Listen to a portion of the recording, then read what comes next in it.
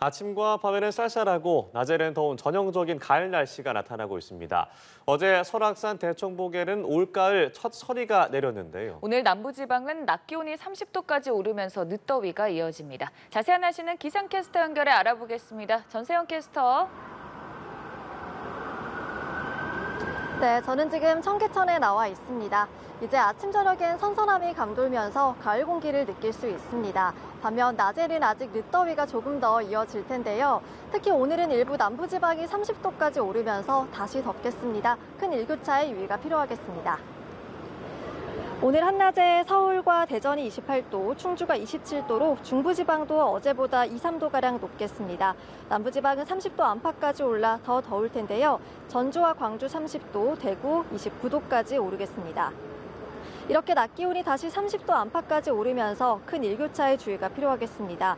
전남 순천은 오늘 아침 14.1도까지 떨어졌지만 낮에는 29도에 육박하며 일교차가 15도가량 크게 벌어질 텐데요.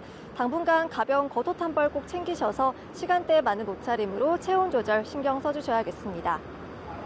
한편 오늘과 내일 일부 지역에 가끔 비나 소나기가 내리겠습니다.